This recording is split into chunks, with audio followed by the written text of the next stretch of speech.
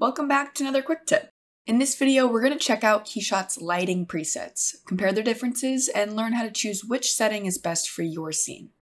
The lighting presets are located in the lighting tab of the project panel. There are five total, plus a custom preset that will automatically be enabled if you make adjustments to any of these. Custom is also where you can create and save your own lighting presets. First on the list is Performance Mode. This preset strips your scene of most of these settings, leaving you without a lot of detail, but that's why this preset is ideal for faster performance.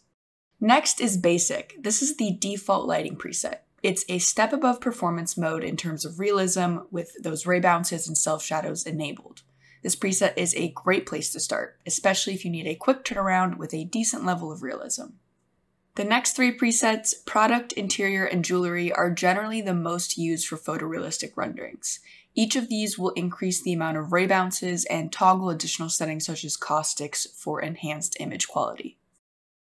With product enabled, light will be more directly focused on the subject of your scene, whereas interior spreads more light throughout the environment and can handle more complex indirect illumination. Jewelry uses the full power of KeyShot to light your scene. It's the most intensive preset with the highest number of ray bounces, shadow quality, and caustics. This setting will make your renderings look awesome, but just be aware of longer render times with this one enabled. Let's quickly look at some direct comparisons between these lighting presets. The first is basic. Take note of those highlights and shadows and the way the glass is reflecting, and let's compare that to product.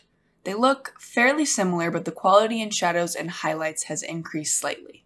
This third image uses the interior preset, and you can see a definite improvement here with how that glass is rendered out compared to product and basic. And lastly, jewelry, where you can clearly tell that overall, this is a big jump from the basic preset.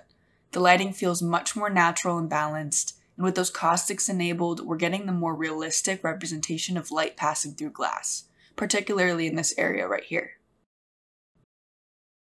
Now just remember, choosing a lighting preset is entirely dependent on your scene, hardware, and end goal. There isn't a perfect preset either, and sometimes you'll need to adjust these settings. The best way to figure out what works is just to dive in and experiment for yourself. Thanks for watching this KeyShot Quick Tip. Don't forget to subscribe for more helpful content, leave a comment below with your thoughts, and if you enjoyed this video, give it a like and share it with your friends.